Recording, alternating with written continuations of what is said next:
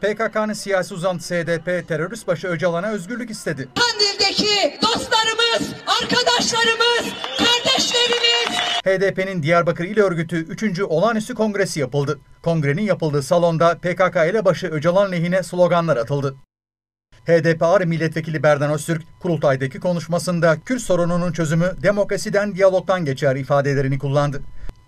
Öztürk, sözde Kürt sorununun çözümü için Öcalan'ın serbest bırakılması gerektiğini savundu.